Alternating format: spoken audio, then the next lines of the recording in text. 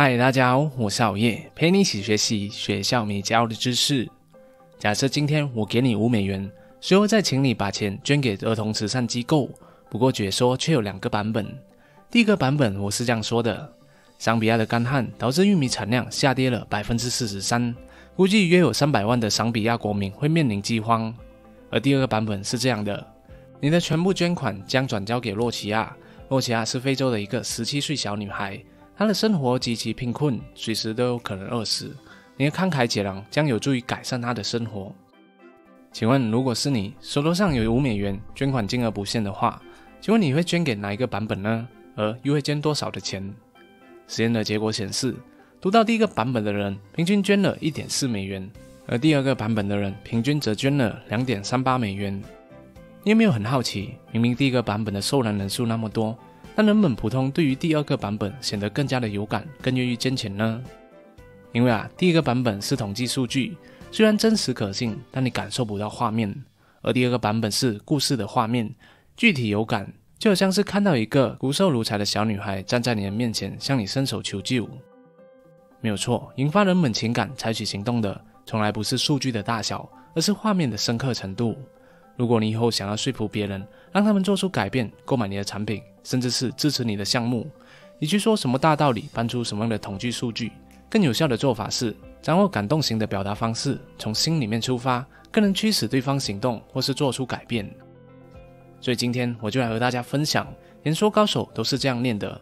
欧阳立中的《四十堂魅力演说课》这一本书，看完之后，让你马上掌握演说高手是如何感动他人的秘密。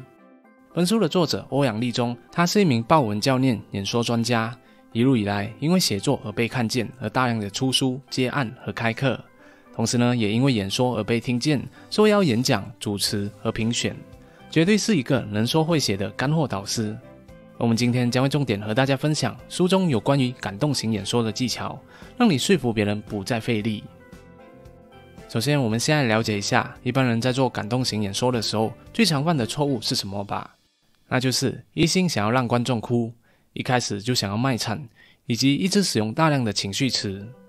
如果你以为用这样的方式就能够感动观众的话，那你就大错特错了。感动型表达的关键不在于如何让观众悲痛的哭，而是在于如何让观众先轻松的笑。这一套技巧就叫做三桥搭拆法。第一步是搭桥，搭起你和观众来往方便的桥。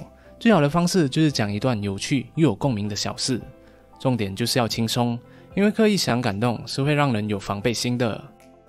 现在让我们来看看前世界级摔跤手马克罗梅的案例，看看他是如何透过这个方法让众多在场的学生落泪，并且在 YouTube 上获得了超过两百五十万的观看率的。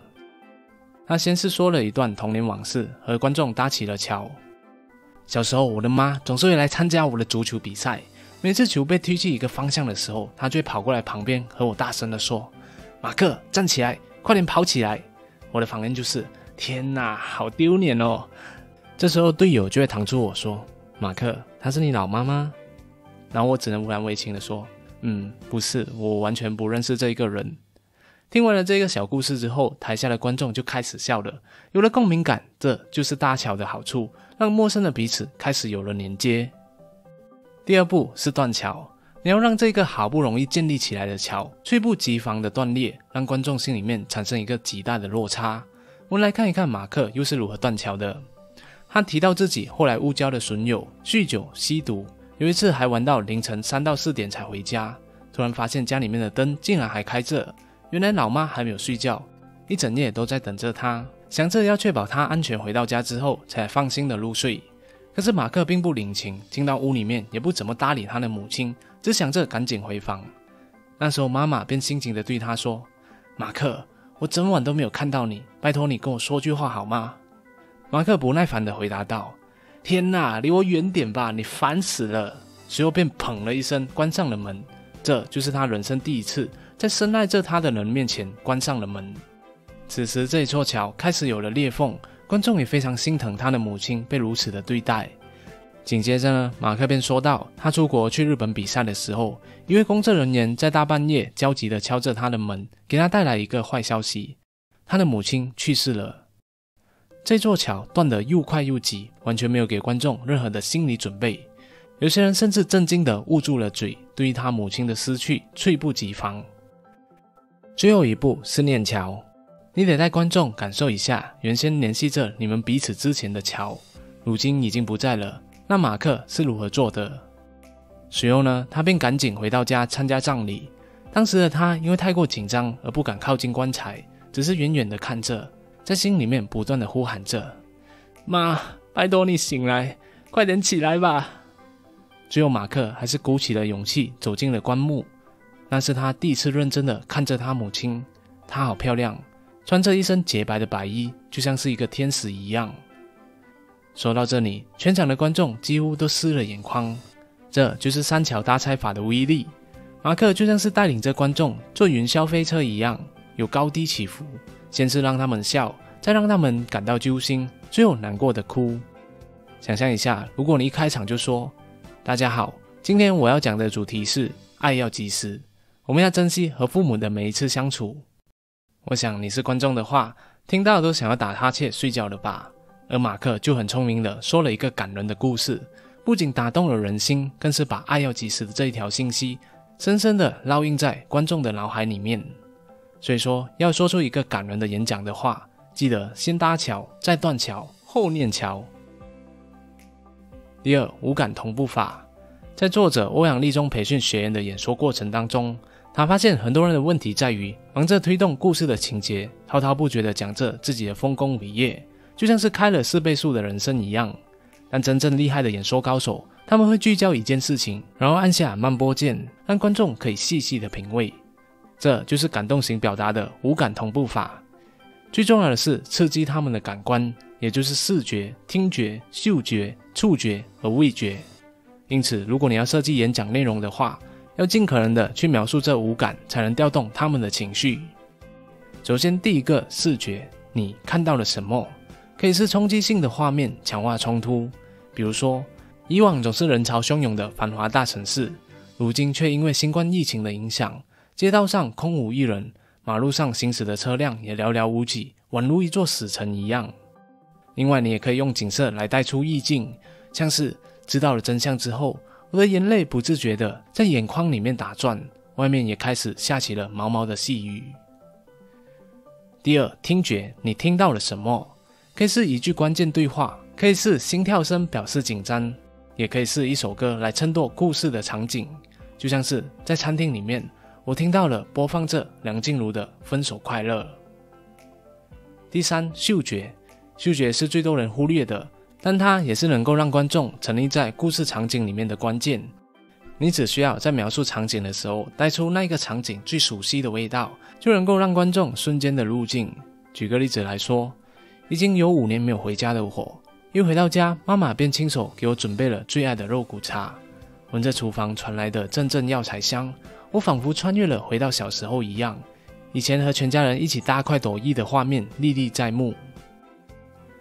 第四，触觉可分为外在和内在。外在是你用手去摸，比方说摸到妈妈粗糙、充满细纹的手，那是一个岁月的付出；而内在指的是你内心的感受，比如说发现自己被朋友背叛了，我的心好像是被针狠狠地扎了一下一样。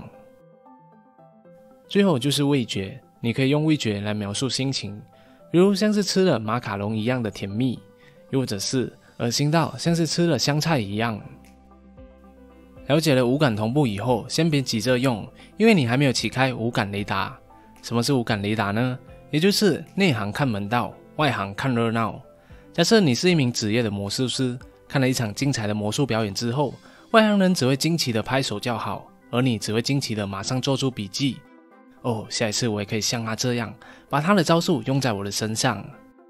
所以，要是你以后参加了一个还不错的演讲，记得要打开五感雷达，分析那一名讲者是如何使用五感同步法，然后再应用在自己的身上。书里面有提到一个案例，是朱维明医生的 TEDx 演讲，主题是“预立医疗决定，为自己的生命做主”。这篇演讲的内容是探讨预立医疗决定的重要性，也就是说，赋予病人在特定的临床条件之下，接受或者拒绝维持生命的治疗。想象一下。当你走进急诊室的门口，你心爱的人正在里面，你焦急地等着。一打开门，医生便跑出来跟你说：“你有没有想过要拔管，让它舒适的走掉呢？当人们在生命走到尽头，其实最痛苦的并不是死亡，而是不能够为自己的生命做主。明明知道没有救了，医疗措施也只能够暂缓死亡，但面对家人的舍不得，依然坚持院方要继续抢救。而躺在病床上默默承受着痛苦的病人，却什么都做不了。所以，预立医疗决定就能够在遇到这样的情况的时候，真正的为自己的生命做主。尽管当了七年的医生，陪伴了五百多名病患走过人生的最后一程，当悲剧发生在真正自己的身上，朱伟明医生还是显得不知所措。有一次，他的爸爸因为跌倒而脑出血，情况非常的不乐观。医生便问他的妈妈说：“是我要继续治疗？”母亲犹豫不决，于是便转头问向儿子的意见。好，那这里要注意哦，重点来了。他是这样表达的：那一刻，我记得很清楚，隔壁很吵，看到急诊室的病人正在接受急救，空气弥漫着烧焦的味道，心跳监视器不断的发出哔哔哔的声音。当时候的我做了一个至今都后悔的决定，我回他说：“妈，我不知道，你决定吧。”听了这一段描述之后，你仿佛身处在急诊室，因为他用了五感勾住了你，在你的脑中重建了当时的画面，让你与演讲者产生共感。而最后，细节是演说中最厉害的绝招，就好比是一道主菜的调味料，加了会让观众听得津津有味，回味无穷。而在这一点会有两种用法：第一，感官细节，人是透过语言来想象事物的。就像是我跟你说柠檬汁的味道，你想到马上就会分泌口水。刚才的五感同步法其实就是用感官细节来表达的方式，透过表示五种感官来制造画面，产生共鸣。第二种叫做道具细节。刚刚朱维明的故事接着说下去。后来父亲出院了，有一天我下班回家，我看见餐桌上摆着两张医疗抉择意愿书，而我妈含着泪水的告诉我。她不希望有一天她和爸要走了，还有儿子为她心里受苦。她想要潇洒的走，她只希望儿子可以过得更好。那时候，朱医生便缓缓地从口袋中拿出了东西，是两张纸，便说道：“这两张是我父母签署的医疗决策意愿书。”那瞬间，你可以感受到什么吗？是不是可以感受从故事中跑了出来？这就是道具细节的威力。能够把过去的故事带到现场，强化观众的感觉冲击，而在这一个时间，就是你引发行动的最佳良机了。因此，朱医生最后的行动金句是这样说的：“生命自己做主，医疗抉择为爱而立。”台下的观众听完之后无不动容，回以一个最热烈的掌声。总而言之，想要抽出一个打动人心的演讲，我们可以使用第一三桥搭拆法。感动型演说的基本框架是先搭桥，再拆桥或念桥，千万别急着要感动别人，因为那往往最后只会自我感动。第二，五感同步法，利用五感在你脑海中重建当时的画面，让观众和你产生共感。第三，天真细节，只有细节才有画面，才能够让人家刻骨铭心。知名的趋势专家丹尼尔·品克就提到，随着网络和小而美经济的崛起。销售技能将会变得越来越重要，而演说表达就是最重要的一环。无论你是想要说服你的老板为你加薪，老师在学校传授知识给学生，家长跟孩子传输早睡早起的重要性，创业家说服投资者投资，还是职场小白在会议中提出自己的点子都好，这一些行为都必须要用到演说的表达能力。因此，趁早提升自己的表达能力，才能够影响他人，帮助自己和他人改善生活。更好的经营好自己的人生，而这本书演说高手都是这样念的，就给你提供了五种演说类的表达技巧。除了刚才提到的感动型以外，还有幽默型、说服型、激励型和知识型，可以极大的丰富我们的表达方式，绝对可以帮助到你打磨自己的表达能力。谢谢大家的观赏，希望今天的影片对你有所启发。如果你喜欢好业的影片的话，就请你订阅好业的频道，点赞和分享，启发更多的人。